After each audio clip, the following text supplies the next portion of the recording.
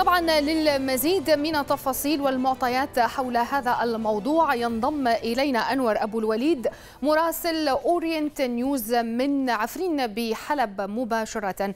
مساء الخير أنور. طبعا معطيات وأنباء عديدة تتحدث عن محاولة تغيير ديموغرافي في مدينة حمص. نبدأ معك من احتلال الميليشيات لبيوت بيوت المدنيين في حمص. ضعنا في أكثر تفاصيل. عن هذه المعلومة.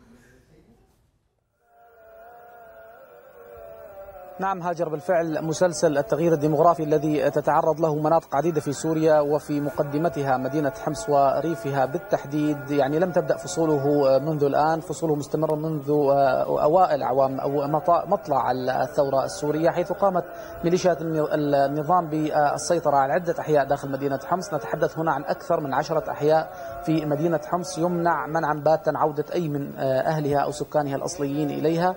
طبعا أحياء عديدة سيطرت عليها ميليشيا النظام في وقت مبكر يعني مطلع عام 2012 كانت ميليشيا النظام تسيطر على عدة أحياء في مدينة حمص كانت ثائرة ومركز ومراكز أساسية للحراك الثوري السلمي في حينها من بين أحياء دير بعلبة والبياضة والقصور والخالدية والقرابيس وغيرها من الأحياء أحياء حمص القديمة أيضا وغيرها من الأحياء التي يمنع إلى الآن عودة معظم سكانها وهي يعني م. تعتبر الآن أحياء شبه خالية من سكانها أو خالية تماما من سكانها الأصليين هناك تواجد في داخل هذه الأحياء لعدد من الميليشيات التي كانت تقاتل إلى جانب النظام الميليشيات الإيرانية والعراقية واللبنانية وغيرها سيطرت على عدد من البيوت ولكن يمنع كما ذكرت إطلاقا عودة أي من السكان الأصليين إليها. أيضا هناك يعني حتى من تهجر مؤخرا من مدينة حمص وريفها هناك وضع يد على بيوت المدنيين المتواجدين في المدينة وحتى في الريف الحمص الذي تهجر مؤخرا. هناك يعني تقوم ميليشيا النظام بوضع إشارات وعلامات تمنع عودة أي من المطلوبين لميليشيا النظام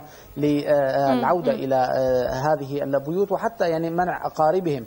من الاستفادة من هذه البيوت وبالتالي هي عملية تغيير ديمغرافي ممنهج تتعرض له محافظة حمص منذ أولى سنوات الثورة ولا تزال مدينة حمص وريفها يعني تتعرض لهذه العملية المدروسة والممنهجة والتي تقوم بها ميليشيا النظام بشكل ملاحظ ومركز. أيضا يعني الأرياف الحمصية وخصوصا تلك القريبة من الحدود اللبنانية نعم. يعني هناك من الطبيعي بأن تكون الميليشيات اللبنانية وعلى رأسها ميليشيات حزب الله أولى وأكثر الميليشيات التي تسيطر على تلك المناطق والتي أيضا تمنع عودة الأهالي إلى بيوتهم هناك. شكرا لك أنور أبو الوليد مراسل أورينت نيوز مباشرة من عفرين كنت معي.